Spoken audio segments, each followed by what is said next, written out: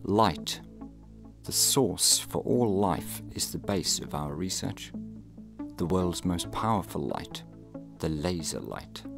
Laser processing is our main research area with special focus on laser welding from quantum physics to industrial laser systems. We have excellent research experience, laboratory facilities and strong collaboration with industries. Our cyber lab gives us access to other strong research groups in Europe.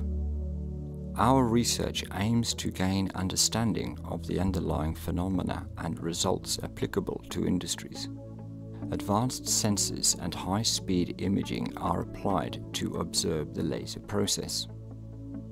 Observations that are the base for development of analytical and simulation models. Contact Professor Alexander Kaplan for further information and collaboration opportunities.